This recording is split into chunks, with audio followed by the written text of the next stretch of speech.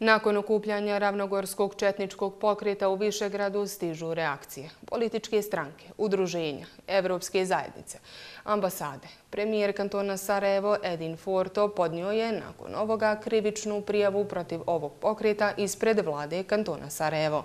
Svi osuđuju, svi žestoko reaguju. Svi osim bivšeg predsjednika RS-a i sadašnjeg predsjedavajućeg predsjedništva Bosne i Hercegovine Milorada Dodika.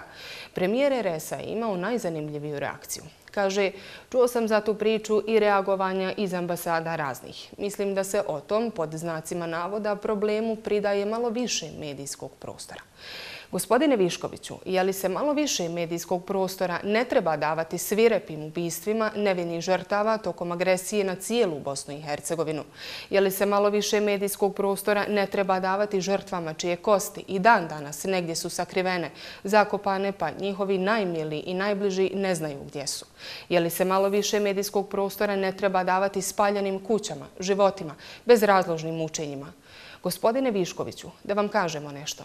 Ne pridaje se medijski prostor ravnogorskom četničkom pokretu, nego onima koji su zbog tog pokreta ubijeni, nestali, izgubili najmilije i ostali praznih duša sa doživotnim traumama.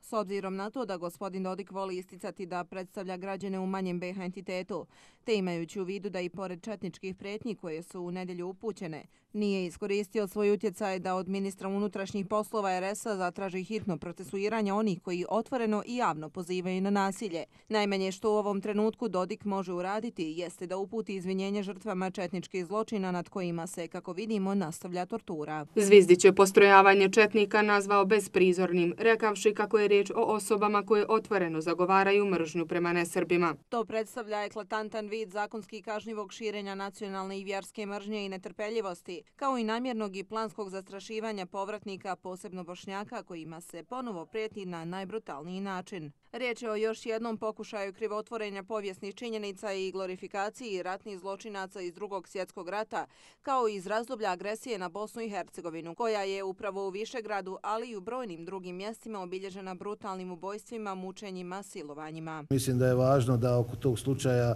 posebno u tom dijelu svoju ocjenu daju bezbjednostne agencije, odnosno agencije i ministarstva koji se sa tim bave.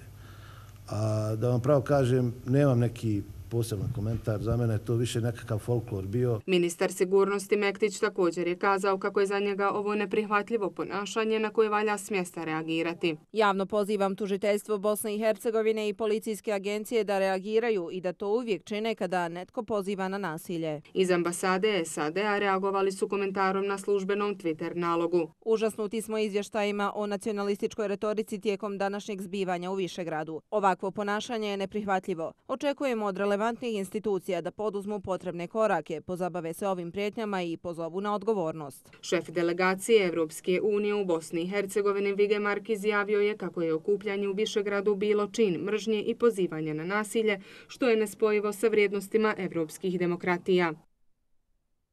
Reakcije preživjelih žrtava najbolniji su podsjećanje. Ovo je strašno.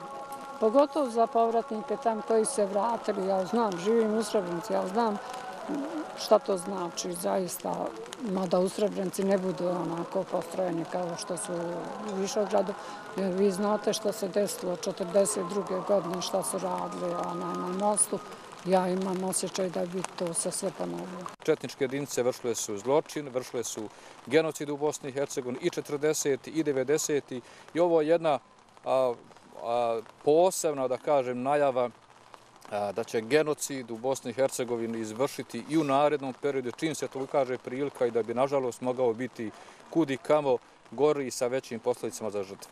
Ono što me posebno razočara, to je inertnost bosansko-hercegovačke politike, posebno bošnjačke politike. Evidentno je da su organizatori ovog četničkog okupljanja isti oni koji su učestvovali u genocidu počinjenom u Bosni i Hercegovini, a isti nici su procesuirani obzirom da su pod zaštom vlasti u Republici Srpskoj ili Republici Srbiji.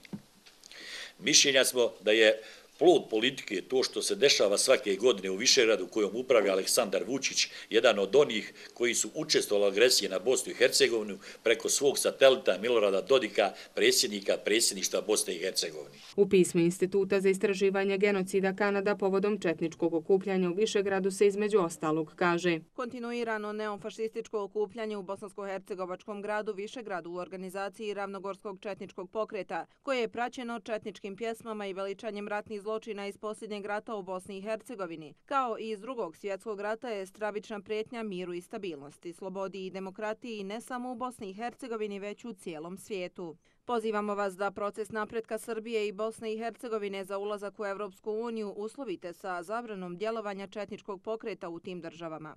Pozivamo vas da potpunom zabranom djelovanja ravnogorskog četničkog pokreta u Kanadi ojačate lidersku poziciju Kanade u borbi za istinu, pravdu, slobodu, ljudsko dostojanstvo, mir i stabilnost u svijetu.